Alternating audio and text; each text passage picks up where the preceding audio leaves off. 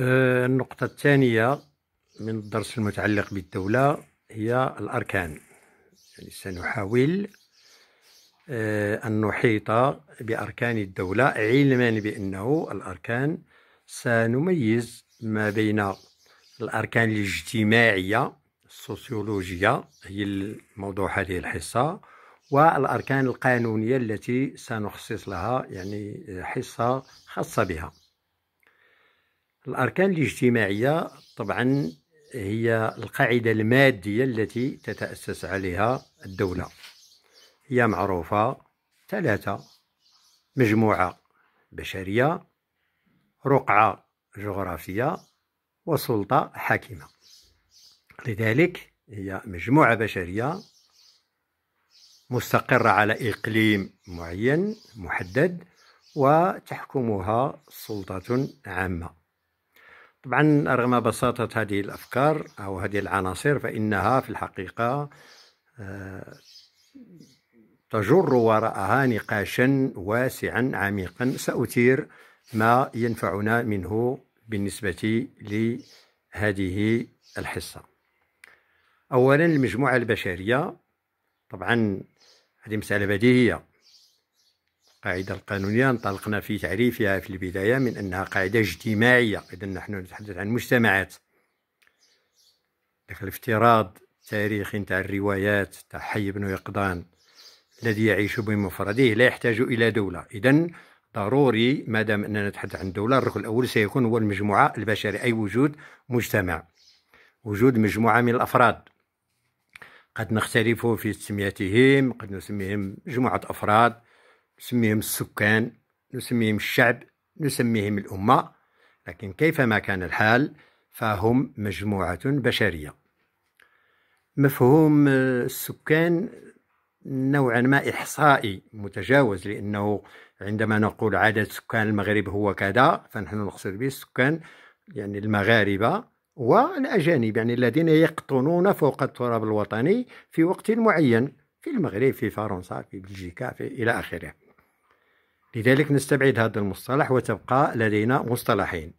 مصطلح الشعب الذي هو لو ومصطلح الأمة لا ناسيون بالنسبة للتمييز فيما بينهما قبل أن نغوص في ذلك سأنطلق من الأمة. الأمة لا ناسيون طبعا هي مفهوم آه، فلسفي يشمل تاريخ شعب معين ماضيه وحاضره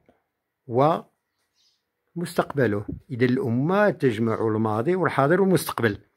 عندما نقول الأمة المغربية المقصود بها المغاربة الذين عاشوا في هنا في المغرب أو الذين يعيشون حاليا أو الذين سيعيشون في المستقبل. هذه لا ناسيون لا ناسيون. لكن عندما نتحدث عن الشعب المغربي الشعب هو الجزء الحي من الأمة. هم الأشخاص من الأمة الذين يعيشون في هذا الوقت. لذلك مسألة طبيعي أن نميز فيما بينهما. طبعا ما يهمنا هنا أن ندرس أولا يعني الأمة باعتبارها المفهوم الأكثر ارتباطا بالقانون الدستوري. يجب أن لا ننسى نحن قلنا بأنه القانون الدستوري مثلا في بعض التعريفات هو أداة للتوفيق بين السلطة والحرية في إطار الدولة الأمة ليتا ناسيون. إذا ينبغي أن نبدأ بدراسة الأمة لنصل بعد ذلك إلى دراسة مفهوم الشعب. الأمة يمكن أن نعرفها بتعريفين. الأمة هي مجموعة أفراد مرتبطين فيما بينهم بروابط مادية أو معنوية أو هما معا. يعني نستنبط من هذا التعريف أنه هناك عمليا آه، هناك تعريفين. لأنه الأمة إما أن تجمعها روابط مادية أو معنوية. المقصود بالروابط المادية هي تلك الروابط التي تتمثل في العرق تتمثل في اللغة. تتمثل في الدين وبالتالي فهي عناصر ملموسة عندما هي النظرية المعروفة بالنظرية الألمانية خاصة التي تعتبر بأنه الأمة أساسا هي عرق معين سلالة معينة. طبعا الذين دافعوا عن هذا التوجه دفعوا المجتمع الدولي إلى حروب عرقية. تذكروا يعني الحزب النازي وما قام به هتلر من اعتبار أن العنصر الآري هو أرقى الأجناس البشرية. إذا هذه النظرية عمليا عنصرية أكثر منها يعني كان يقابلها أو كان ظهرت إلى جانبها مفهوم فرنسي آخر يعتبر بأن الأمة يعني يمكن أن تجمعها روابط معنوية. إذا كان يجمعنا الرغبة في العيش المشترك يعني لنا تاريخ معين. عشنا مآسي معينة عشنا أفراح معينة هي كلها مسائل معنوية. ولدينا تلك الرغبة في أن نبقى أن نعيش معا. إذا احتاجنا أمة.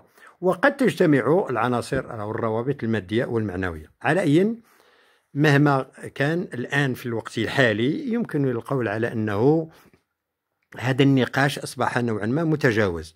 لكن النقاش الحقيقي بالنسبة إلي في القانون الدستوري وهو علاقة هذه الأمة بالدولة.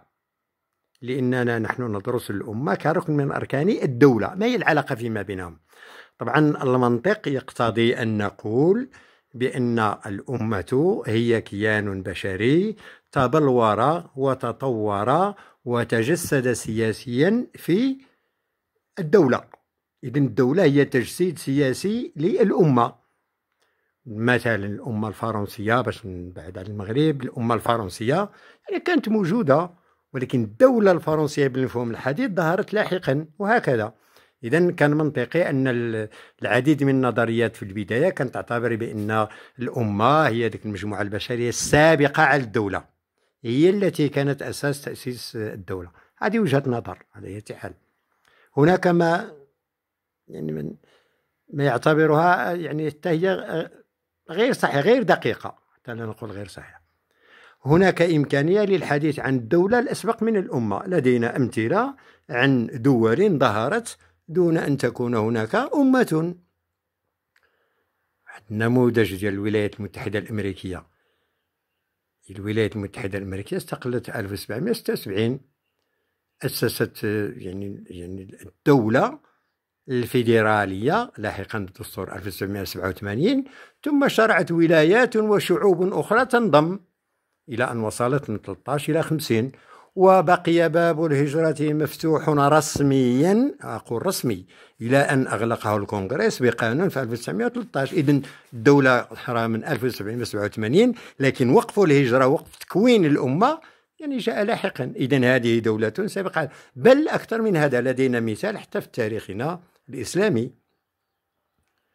نحن في الإسلام في آه، آه، بداية الإسلام ومع وفاة الرسول صلى الله عليه وسلم انتهى تأسيس الدولة الإسلامية.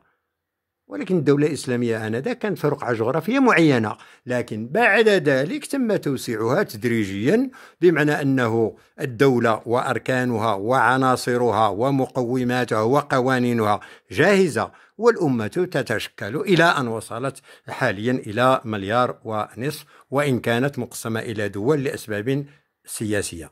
إذا أسبقية الدولة على الأمة يعني يجب أن لا نحسم فيها فقط بالمنطق ولكن بدراسة كل حالة على حدة. الآن هذه الأمة بهذا المفهوم آه، سياسيا نحن نتحدث ينبغي أن نتحدث عن الأشخاص الموجودين حاليا الذين هم يكونون الشعب. إذا الشعب الآن كركن من أركان الدولة هل هو مجموعة بشرية ينبغي أن تتوفر فيها خصائص معينة أو عدد معين أو أو إلى آخره؟ من هذه الزاوية ينبغي القول على أنه عدد أفراد الشعب المجموعة البشرية المشكلة للدولة لا يؤخذ بعين الاعتبار. هناك دويلات ودول لها عدد عدد سكان بالآلاف وبعضها بالملايين وبعضها وصل أو فاق المليار. إذا المعيار العددي ليس أساسا بل شخصية الدولة هي التي تكسبها عضوية في المجتمع الدولي مثلا بغض النظر.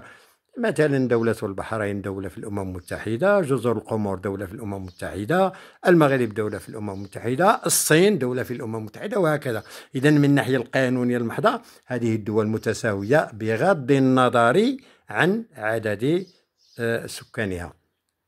لكن هذا لا يمنع من أنه بعض الباحثين يعني يحاولون تدقيق يحاول تدقيق هذا الموضوع. الأمر ليس بهذه السهولة. لذلك يتساءل هل إذا كان من الناحية القانونية لا يهم لكن من الناحية الواقعية عدد السكان هل هو مهم أم لا؟ أحيانا في بعض الدول نجد بأنه عدد السكان قليل لكن استطاعت الدولة بإمكانيات أخرى وبتنظيم معين أن يعني تنمي نفسها بشكل يعني أرقى من دول لها عدد سكان يعني كبير جدا. لدينا دول لها نفس عدد السكان بعضها متقدم وبعضها متأخر. إذا آه، عدد السكان إذا لم يكن من الناحية القانونية له دور معين فإنه من الناحية الواقعية يلعب دورا في إبراز قوة الدولة. لاحظنا مثلا في هذه الفترة العصيبة التي آه، تمر منها المجتمع الدولي بأنه الصين رغم أن عدد السكان يفوق المليار ونصف إلى آخره ولكن مع ذلك الآفة نظمت نفسها بشكل يعني تجاوزت به الأزمة ربما ربما أفضل من دول لا عدد سكان أقل. إذا العبرة ليست بالعدد وإنما بإمكانيات أخرى ربما يمكن أن تعالج في دروس أخرى خاصة دروس الاقتصاد من حيث معرفة موارد هذه الدولة وكما سنراها عند الحديث عن العنصر الثاني الذي هو إقليم الدولة. شكرا وإلى حصة أخرى. تحياتي.